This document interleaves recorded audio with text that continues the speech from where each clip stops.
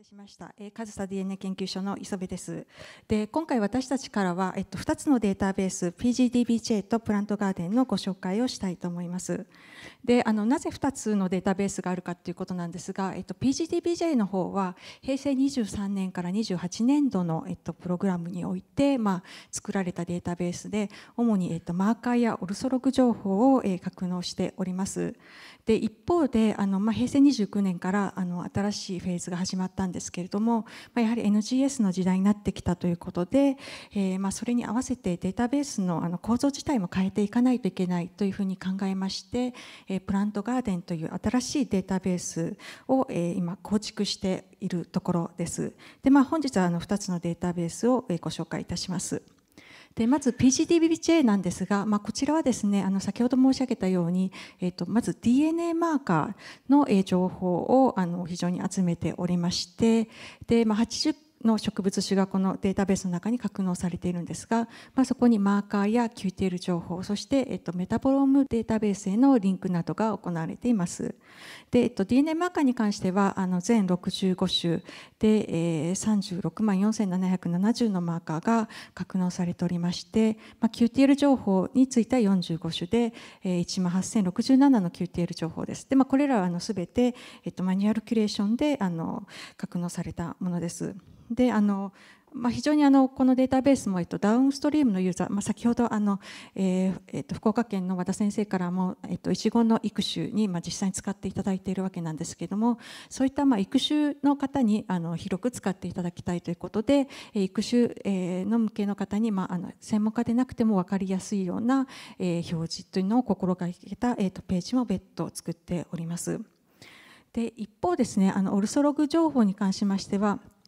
こちらの遺伝子のオルソログを、まあ、あのそれぞれの遺伝子に、えーと、対して、まあ、あのクラスタリングをかけていて、まあ、そのクラスターの情報がまあ入っているんですけれども、えーと、そのどれぐらいあの、えーと、主観でまあ保存されているのかといったことを一目で分かるような表示や、まあ、実際に中身がどうなのかといったところの、えー、検索ができるようになっております。でさらに、えーと、PGDBJ は、えーと、もう一つあのリソース植物全体のリソースを検索するというような機能もありまして、えー、データベース横断的にま検索するような機能あるいはあのいくつかの植物に、えー、特化したような、えーとデータベースもここに置いているといったような状態でした。であのまあ、このように、えっと、PGDBJ あの植物の関係者では、まあえっと、マーカーを網羅的にあの格納しているデータベースとして、まあ、お使いいただいていたわけなんですけれども、まあ、あのこういった、えっと、NGS の時代になってデータベースを変えていこうとえいう議論になった時にそのただ単に NGS を、えー、と格納するといったことだけではなくてやはりそのデータベース自体を取り巻く環境というのも変わってきてるんじゃないかというふうに考えました。それは何かと言いますと、まあ、PGDBJ の時代には、まあ、大きなこの中心となるデータベースがあってそこにユーザーがアクセスをして、まあ、自分の情報を取ってきた。なんですけれども、まあ、今はですねこのデータベースに対して、まあ、ユーザー自身が、まあ、先ほどあの和田さんおっしゃられたように例えば自分の発言データがあったり自分のリシーケンスのデータがあったり、えっと、データをまあ持っているわけですねで、まあ、そこをまあ比較していきたいというような要望がまあ非常に増えてきていると。でさらにその、まあ、あのデータベースのその技術的な環境に関しましてもあのこの、えっと、今のフェーズがちょうど始まる頃ってまだ実はそれほどクラウドとかですね API といったような言葉もそんなにはあのポピュラーでなかったと思うんですけれどもここ12年でまこういったものが非常に皆さんポピュラーになってきていてで、ま、自分の中であのそれぞれの育種の方がどういうデータベースを持つのかっていうようなあの大型なプロジェクトが、ま、世界的にですねあの始まっていたりあるいはあの、えっと、自分がそのリシーケンス、えっと、デノモのあののアセンブルを持った時にそのデータベースを簡易に、え作るための、ま API といったものもあのでき出てきているわけです。でまあ、その中で、ま私たちがどういったデータベースを作っていくのかといったところを、ま考えながらこのプラントガーデンといったものを平成29年度から、えー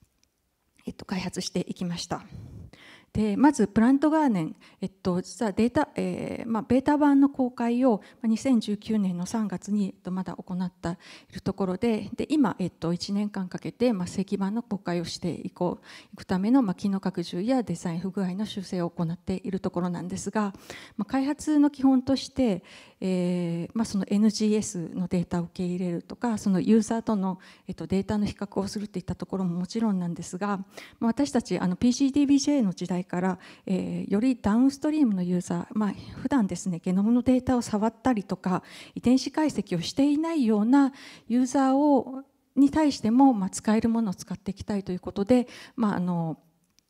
そのデザインですね。デザインに関しても、え、できるだけシンプルに分かりやすく、ま、どういうアクションをすれば次のデータが出てくるのかっていったような、ま、デザインを心がけておりました。で、まあ、そのユーザーなんですけれどもそういった、まあ、あの従来の生物の研究者や、ま、育種の関係者だけではなくておそらくですね、ま、近い将来には、え、ゲノム解析の、えーと、教育というものがもっとあの日常的に行われるだろうというふうに考えておりまして、まあ、そういったその教育機関の、えーと、先生方にも使っていただけるようなあのものをまあ目指して今デザインと,、えーと中身の整備をしているところです。であの格納するデータなんですが、えー、高精度なゲノム配列が公開されている植物種は可能な限り網羅する方針としておりまして、えっと、さらに、えっと、ユーザーのデータとの比較のために開発ツールの開発と連携を図っているところです。で、えー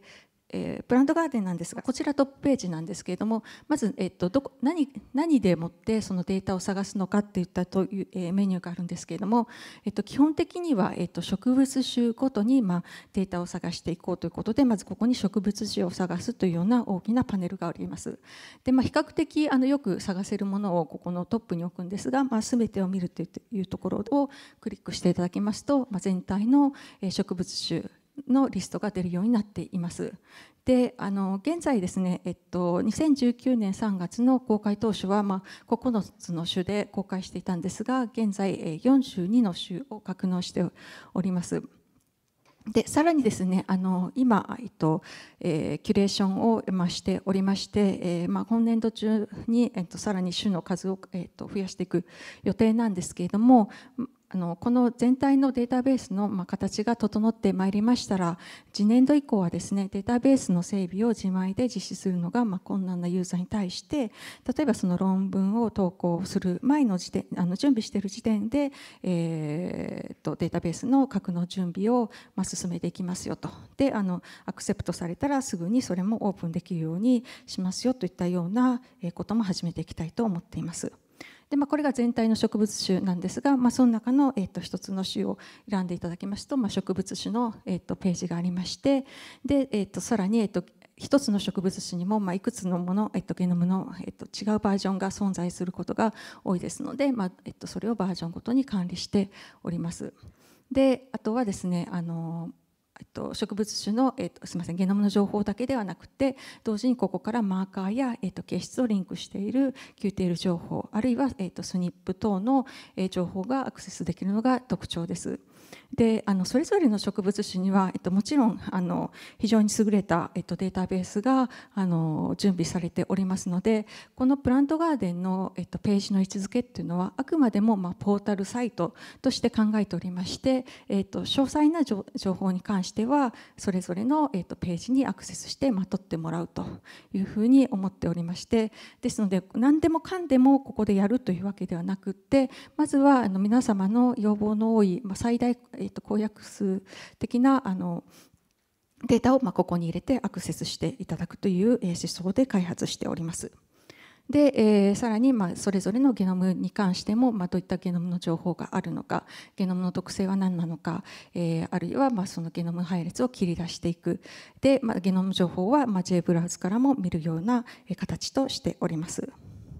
で、えー、遺伝子情報に関しましても、えー、ゲノム情報にまあ格納しておりましてでさらに、えっと、アノテーションに関しては、えっと、パブリッシュされた情報というのはそのアノテーションの、まあ、手法がまちまちで項目もまちまちなので、えー、早いアノテーションという、えっと、高速なアノテーションツールを、え、開発いたしましてそこでアノテーションをし直しまして、まあ、統一した、えー、あの基準でアノテーション情報を載せております。であとは、えっと、マーカーの情報なんですけれども、えー、マーカーを探すといったところからマーカー情報あるいは、えーと、ケストの連関を探すといったところで、まあ、連関しているマーカーの情報そして、えー、スニップ情報の格納も始めているところです。で、えーまあ、この、えっと、シンポジウムの、えー、タイトルでもあります「まあ、つないで使う」といったところはまず一つはユーザーのデータと、まあ、つないで使うといったところを考えておりましてでそのカスタム型データ解析システムということでプラントガーデン内のデータを、まあ、参照データとして、まあ、ユーザーとのデータをできるだけシームレスに比較できるツールの開発ということで、えー、最初に今、えー、手がけているのが最も要望の高い、えー、全ゲノムに対するバリアントの検出、まあ、スニップ検出のパイプラインを、えーえ、開発しているところです。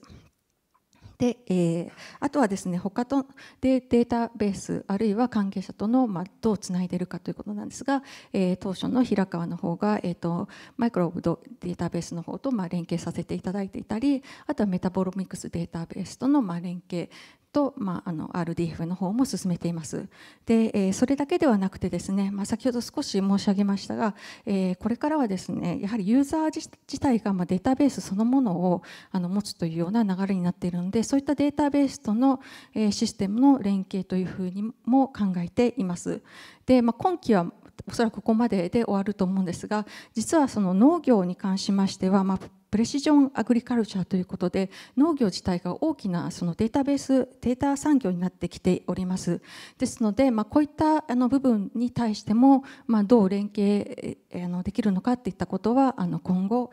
えていきたいというふうに思っております。以上になります。